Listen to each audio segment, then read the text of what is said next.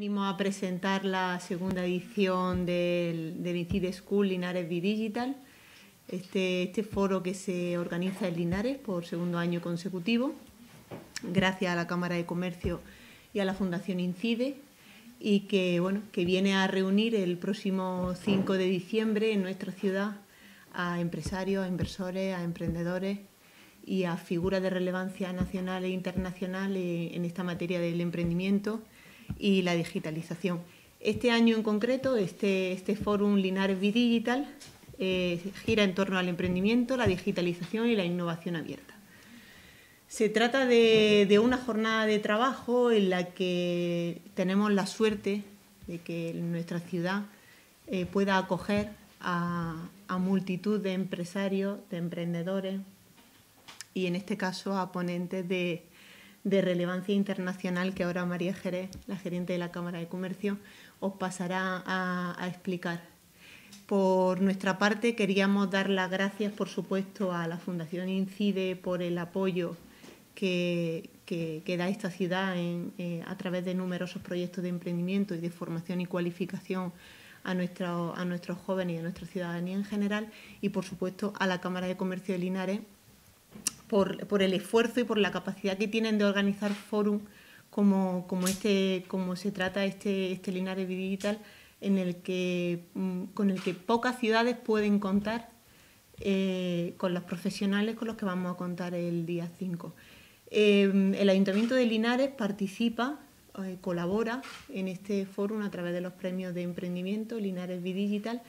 que tras la intervención de María os pasaré a, explicar y a, dar unos datos de cómo ha ido la convocatoria de, este año, que cada año crecen, crecen más. Sí, básicamente lo que queríamos trasladar desde la Cámara de Comercio es que queremos que, que todo el mundo sea consciente de que seguramente estamos ante el mayor y mejor evento de digitalización de pymes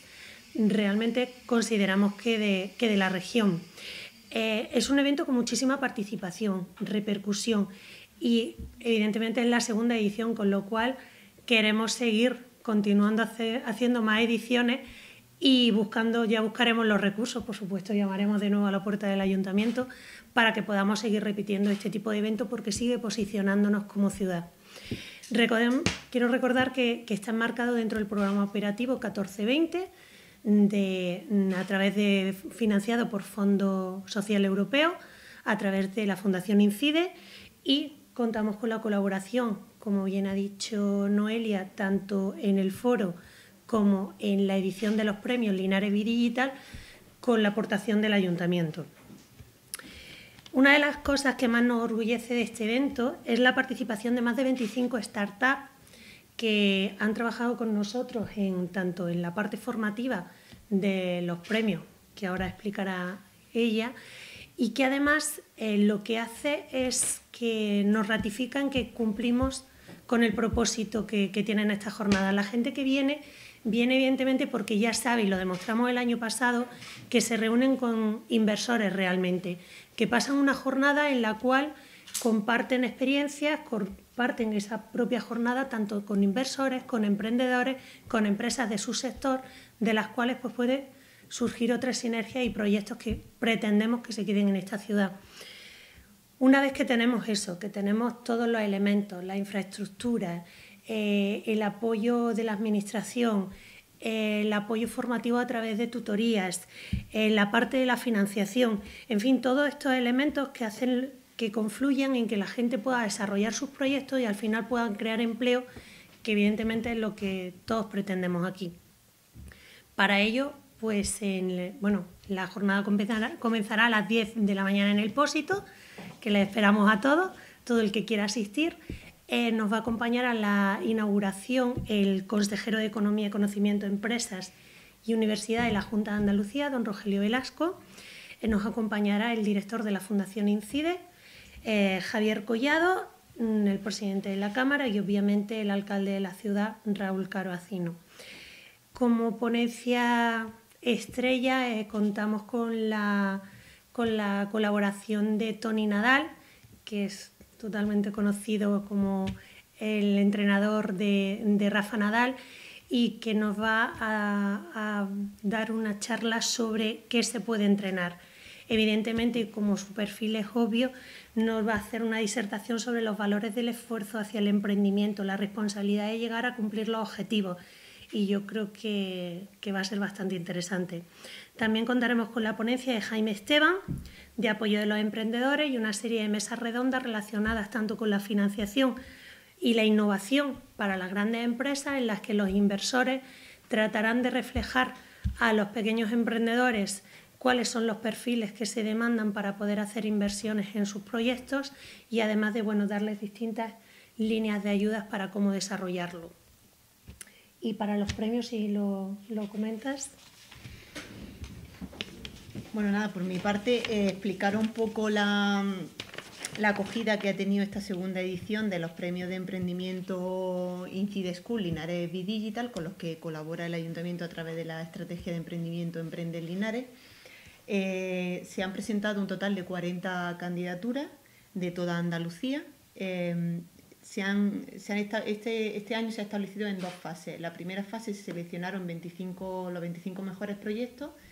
para, para impartir una formación en Linares eh, que tuvo lugar los días 20 y 21 eh, de la mano de, de Faraday Venture Partner. Eh, es uno de los mayores clubes de, de, inversión de nuestro país y bueno, tuvimos la suerte de poder contar con sus profesionales el día 21 y 22 de noviembre y estuvieron formando y cualificando a estos emprendedores para, pues para la consecución de, inversión y de financiación para, para sus proyectos. Eh, como digo, seleccionamos 25, bueno, seleccionaron los técnicos de la Cámara de Comercio, por supuesto, y los técnicos de Faraday Venture Partner, los 25, de estos 25 proyectos. Eh, se han seleccionado 10, eh, que son los que van a hacer su presentación el próximo día 5 de diciembre a partir de las 4 de, las 4 de la tarde en el, en Pósito. Estos 10 proyectos son los proyectos que cumplen con la característica de tener de ser más invertible, como se dice en este, en este ámbito, tener mayor potencial de crecimiento y bueno, en este caso realmente es lo que interesa a esta ciudad, es lo que interesa a este ecosistema de emprendimiento que se viene trabajando desde hace años y, bueno, al final eh, a través de estos premios se ha, cualificado, se ha cualificado y se ha seleccionado a los, más, a los que tienen mayor potencial de crecimiento. Y estos 10 proyectos son los que van a hacer su presentación a partir de las 4 de la tarde el próximo 5 de diciembre en el, en el, en el ámbito de, de Linares Bidigital. Por comentar un poco qué tipo de proyectos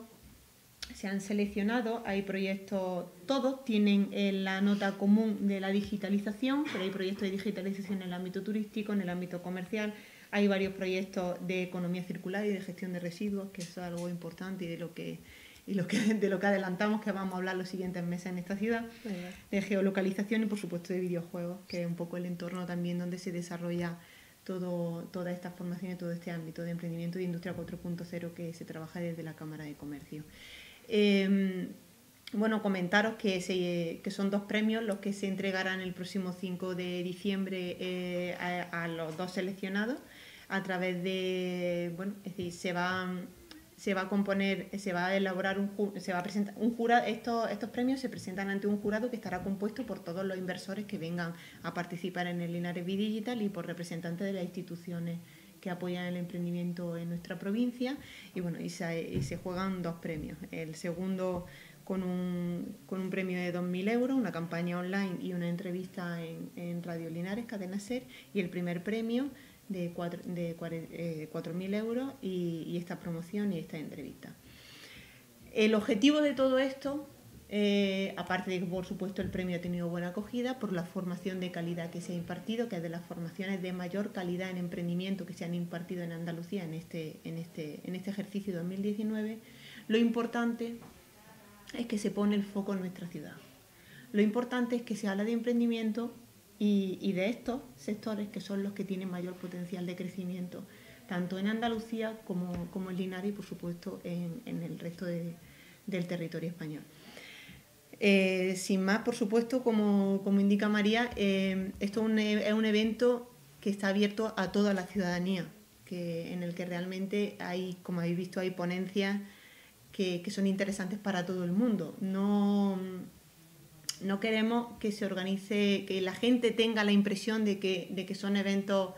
eh, que van dirigidos solo a una parte de la ciudadanía. Eh, realmente el próximo 5 de diciembre esperamos a todos los linarenses en este, en este Linares Bidigital, la segunda edición de Linares Bidigital, y esperamos que, que, por supuesto sea todo, que sea todo un éxito y que vengan muchas, muchas ediciones más. De hecho, una colación con lo que ya ha comentado, es tal la, nuestro interés de manera conjunta de cubrir a toda la ciudadanía que evidentemente le eh, enfocamos en el sector de la inversión y del crecimiento empresarial de la ciudad, como también en el ámbito social a través de, por ejemplo, la, ponencia de, Tony Nadal, como no nos dejamos la pata de pues, eh, el futuro digital eh, y la tecnología que como novedad y mm,